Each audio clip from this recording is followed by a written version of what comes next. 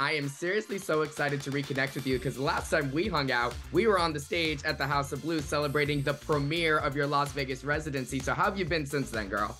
I've loved every second of it. I've had the best time, and I can't wait to get back on stage in December. As if a Las Vegas residency isn't enough, now we're promoting this new season of The Real Housewives of Beverly Hills. And this is an interesting time for you, Erika, because I would like to think the worst is over for you after the chaotic past couple of years you've had. So, what is your energy like as you're heading into this new season?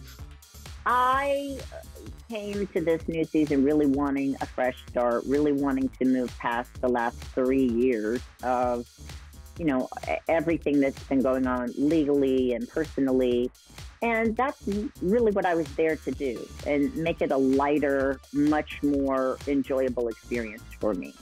Mm-hmm. And even though I would love that for you, as you know, when you're on this show, these women, Erika, I mean, they have a lot to say. And let's just talk about the fact that you don't have your bestie anymore. Lisa Rinna, of course, is not on the show. Was it a little daunting for you to enter this season without having your bestie right by your side?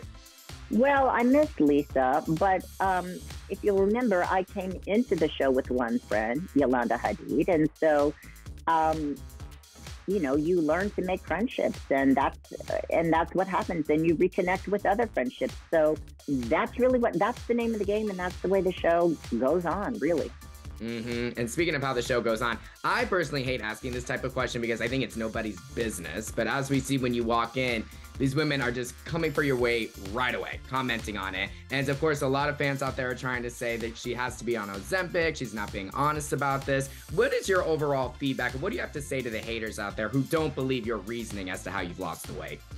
Everyone has to do with what is right for them. Um, my weight loss I got in trouble for talking about a chicken tender the year before. So I'm not really comfortable talking about what I do with my own body. We have a cast member that has an eating disorder. Um, you know, whatever I do for me is right for me. Whatever someone else chooses is right for them. But mm. I look good. you literally just took the words right out of my mouth. I was going to say, Erika, you're looking great and you're feeling great. And that's what's important yeah, you know, and uh, for and for a long time I wasn't looking or feeling great, you know, and I look and feel good, and so it's my right to do so. Yes, and I love that you're sending that message because we need it right now. Well, even though this core cast is strong and we know that we're going to bring the drama, there's a lot of, you know, pop-ups that we see from past cast members this season. And of course, one of them is Denise Richards, and you two go head to head a little bit. Were you thrilled to see Denise Richards walk into Kyle's house that day? Well, here's the thing I didn't know that Denise was going to pick a fight with me at that dinner. So actually, when I saw her walk in, I thought, oh, cool. And then she proceeded to take her time and then start a fight with me, of which I had no idea what she was talking about because she's talking about four year old beef. And I also thought it was very misdirected because who she should really take these things up with is Brandi, Lisa, and Teddi. I just happened to be the only one there. So I was you know, kind of confused and didn't remember what she was saying. And then she didn't articulate herself very well at all.